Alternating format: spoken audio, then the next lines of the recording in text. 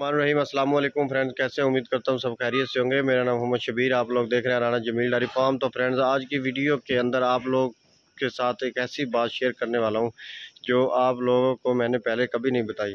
हाँ ठीक है, आप लोगों को शायद ज़रूर पता हो, लेकिन मैं आप लोगों को जो बता रहा हूँ, हकीकत बताऊँगा, जो मेरे जो भी मेरे साथ वाक़ होता है, मैं आप लोगों के साथ ज़रूर शेयर करता हूँ।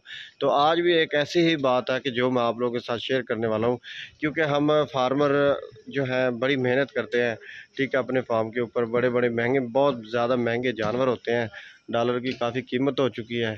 लेकिन, अगर इम्पोर्ट जानवर करता है बंदा तो जानवर का रेट काफ़ी बन जाते हैं। सात सात सात सात छः छः सात सात लाख आठ आठ लाख रुपए का एक जानवर आ रहा है। ठीक है इम्पोर्टेड जानवर। लेकिन, जो क्रॉस ब्रीड जानवर है क्रॉस ब्रीड जानवरों के भी बहुत ज़्यादा रेट है। तो फार्मर जो मिल्किंग वाले जो जानवर लेता है, वो क्यों लेता है? जो, समझो एक जानवर ऐसा होता है कि दूध देने वाली एक फैक्ट्री होती है। ठीक है जी, उस फैक्ट्री से जहाँ से दूध निकलता है, उस चीज़ को हमने कवर करना है जी। ठीक है जी, जानवर के साथ साथ सेहत का भी ख्याल रखना है और उस फैक्ट्री जहाँ से दूध निकलता है, उस चीज़ का, जैसे कि मैं कह रहा हूँ कि अडर का, हवाने का जो मसले मसाइल हैं, उनको हमने उन उस मसले मसाइल से बचाना है। तो वो कैसे बचाना है, ये आप लोगों के साथ मैं बात शेयर करने वाला हूँ। अच्छा जी, सबसे पहली बात तो ये है कि आपका जानवर जो तीस से पैंतीस लीटर दूध दे रहा है ना जी उसकी दो टाइम नहीं तीन टाइम मिल्किंग कर दें ठीक है जी? अच्छा जी।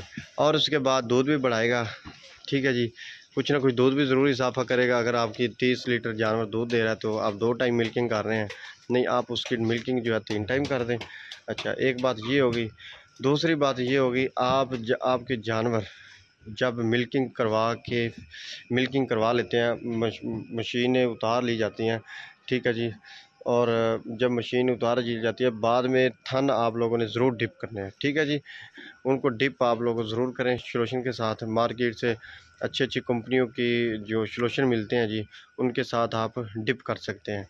थान और ज़रूर डिप किया करें, क्योंकि जब चुवाई करवा के जानवर चुवाई होती है ना जानवर की तो उसके जो सुराख होते हैं थनों के, वो खुले हो जाते हैं। जानवरों के सुराख खुले होते हैं, जब वो डिप करते हैं ना थाना तो वो एक कवर सा बन जाता है। ठीक है जी मक्खी बैठती है, जब से दूध निकलता है तो जैसे ही दूध उससे निकलता है तो हल्के हल्के कतरे से महसूस होते हैं।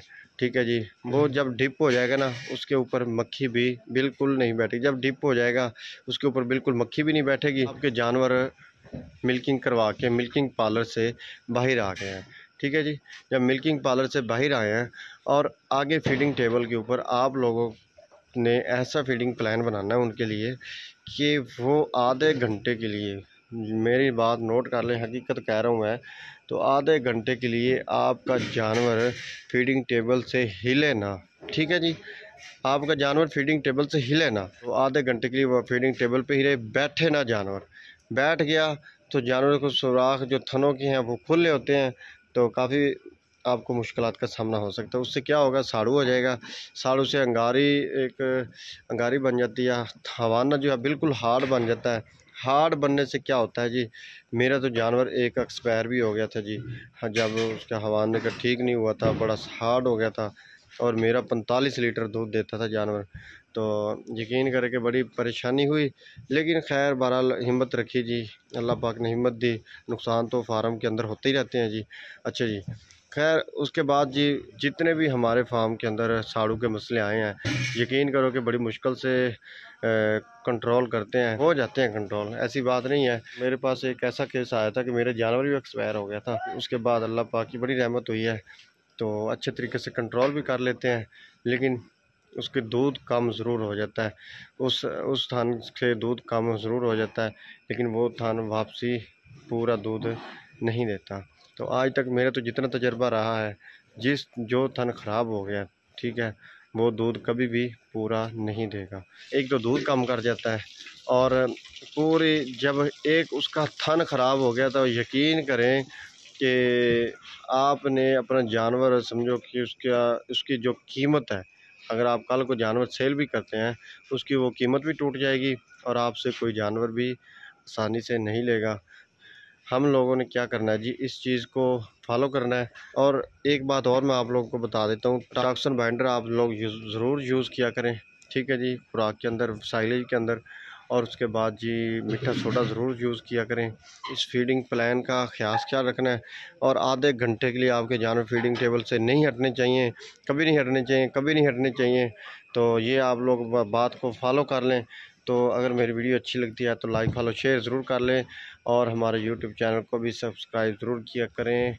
तो इन ऐसे ही नई नई वीडियो के साथ आप लोगों के साथ हाज़िर होते रहेंगे। तो हमारी वीडियो अगर अच्छी लगती है कमेंट्स बॉक्स के अंदर मुझे ज़रूर बताएँ कि कैसी हमारी वीडियो लगती है। तो आप लोगों का बहुत बहुत शुक्रिया। अगर हमारी वीडियो अच्छी लगी है तो आप लोगों ने ज़रूर बताना है। ऐसे वीडियो देख के ना जाया करें, ना जाया करें, ना जाया करें। तो हमें ज़रूर बताया करें। आप लोगों का बहुत बहुत शुक्रिया। मिलते रहेंगे जी। ऐसी नई नई वीडियो के साथ तो मुझे इजाज़त दीजिए। अल्लाह हाफिज़। अल्लाह आप लोग खुश रखे और हमारे लिए ज़रूर दुआ किया करें। बहुत बहुत शुक्रिया जी।